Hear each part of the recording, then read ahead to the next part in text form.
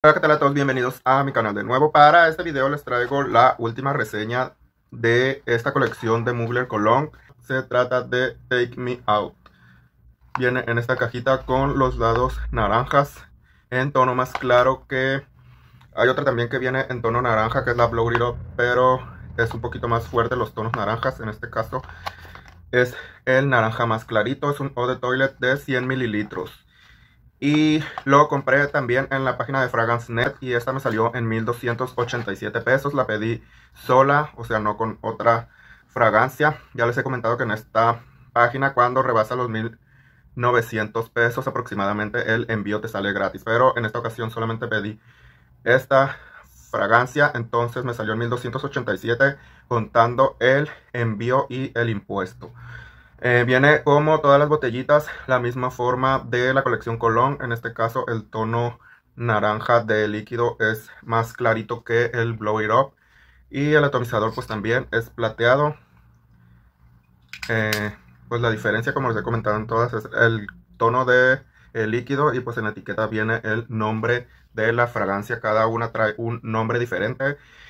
Y pues vamos a pasar el aroma. Los acordes principales es el floral blanco, el cítrico, el dulce, aromático, jabonoso y verde. Pertenece a la familia olfativa floral. Es una fragancia unisex como toda esta colección. Fue lanzada para tanto el consumidor femenino como el masculino. A mi punto de vista la puedo utilizar también si es completamente unisex, cualquier género, pero también la puedo utilizar eh, cualquier persona a cualquier edad. Yo pienso que desde un niño hasta una persona adulta no es una fragancia muy complicada, entonces sí la puede utilizar cualquier persona. Se lanzó en el año 2018 y sus notas son dos, que es la flor de azar del naranjo y el chizo, que para quienes no conocen eh, esta nota, que yo de hecho no la conozco personalmente, es una variante de la menta. O sea que es un aroma parecido a la menta, lo que estuve leyendo es un aroma mentolado, pero como un poquito más calmado a la menta tradicional y con un poquito de sabor amargo también. Eh, eh, da esa sensación como un tanto como dulce fresca, como mentolada. No un dulce frutal, sino como mentolado y eh, pero no es muy fresco como la menta, sino como dulcecito como cuando masticas un chicle de menta y te da ese sabor dulce a menta, como ese aroma más o menos yo le siento. También la flor de azar del naranjo. Eh, ya les he platicado de esta nota, pero por si no lo recuerdan, pues es la flor que da eh, el naranjo. Es una flor blanca, entonces tiene esta sensación como cítrica, como a naranja, pero floral también. Entonces es un aroma ya em, para resumirlo como dulcecito en combinación de ese aroma como a naranja, pero en combinación con eh, la sensación mentolada del el chizo. Es una fragancia que a mí me recuerda eh, a fragancias que contienen o que su nota principal es la flor de azar del naranjo. Yo de hecho tengo una fragancia de Sara que ya les hablé hace tiempo de ella, que es la flor de Oranger de la colección que sacaron con Jo Malone.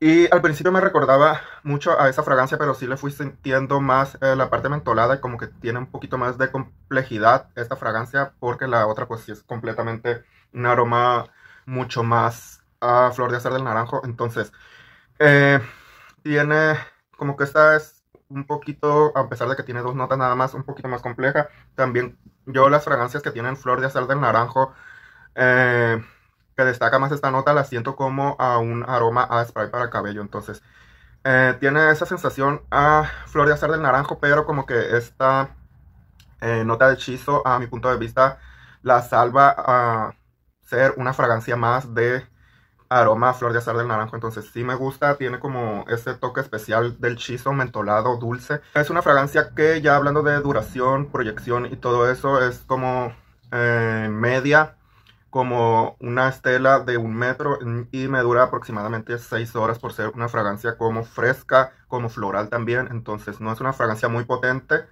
pero cumple en cuanto a fragancias frescas.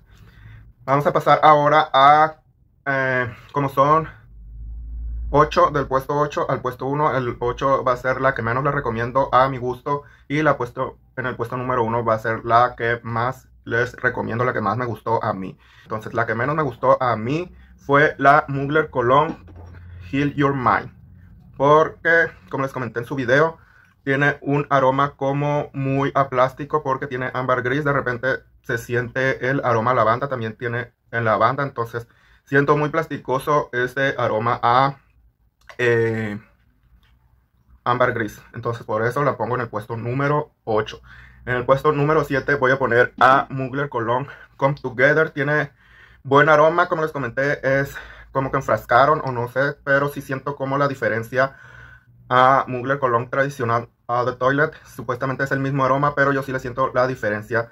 Pero lo pongo en este puesto porque de toda esta colección es la que a mí menos me rinde, la que menos me dura, la que menos me proyecta. Entonces la siento muy débil, por eso la pongo en este puesto. El aroma pues es como un cítrico, como un cítrico. En el puesto número 6 voy a poner a eh, Mugler Cologne Love You All. Es una fragancia que yo les comenté en su video que la siento como un tantito eh, masculina, aunque es unisex, la siento un poquito masculina. Y tiene nota de regaliz y ámbar blanco, me recordó eh, mucho a el Empika Homme. Pero sí también la siento como un poquito débil. Es como una fragancia un tanto especiada. Entonces por eso la pongo en ese puesto. En el puesto número 5 eh, voy a poner a mm, Mugler Cologne Run Free. Esta yo pienso que es la más masculina de la colección. También fue lanzada como una fragancia unisex. Tiene eh, nota de jengibre. Entonces es como una clásica fragancia con aroma de jengibre. Y también tiene una nota amaderada que creo que es el Akigala Wood.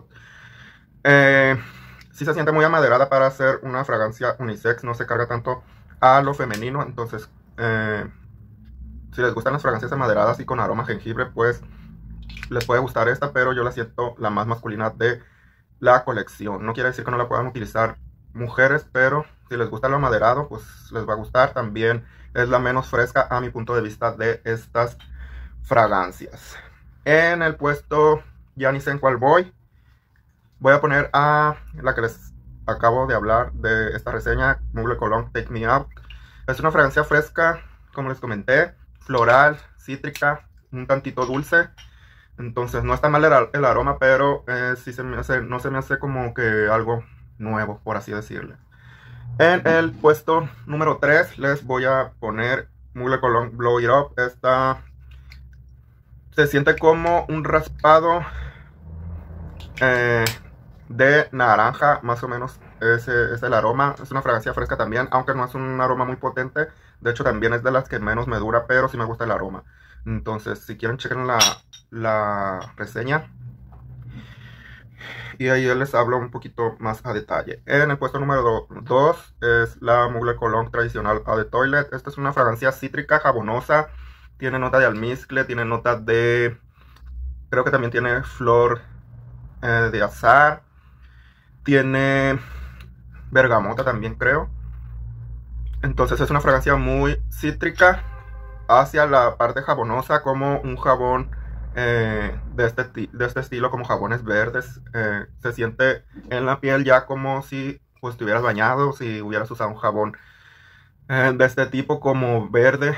Es una fragancia como verde, entonces por eso la pongo en ese puesto como les comenté, es un aroma muy parecido a la Come Together, pero sí dura mucho más que Come Together. Entonces por eso la pongo en ese puesto. Si les tengo que recomendar una, pues obviamente es la que puse en el número 2, porque tiene mejores prestaciones. Y incluso también es más económica, un poquito más económica. Y en el puesto número 1 les voy a poner Mugler Cologne Fly Away. Si quieren checar la reseña, ahí les hablo más, pero en esta la nota que destaca, bueno, tiene dos notas, pero la que recuerdo es la nota de marihuana. Si les gusta si andan buscando una fragancia con esa nota, en esta es muy perceptible. Pues no hay muchas fragancias, o sea, sí hay, pero con esta nota eh, que se le sienta que perdure esa nota de marihuana, no hay tantas como que de tantas notas que le meten a veces a las fragancias como que va desapareciendo, va quedando en segundo plano. Entonces como esta está compuesta por dos notas nada más, creo, dos o tres, pues eh, sí se va a llegar a percibir todo el tiempo esta nota. Es una fragancia como verde, cítrica, entonces si están buscando una fragancia de, con esta nota, pues esta les puede gustar. No es una fragancia muy cara. Entonces, por si andan buscando algo con esa nota. Y pues llegamos al final de esta colección. Nos vemos a la próxima. Adiós.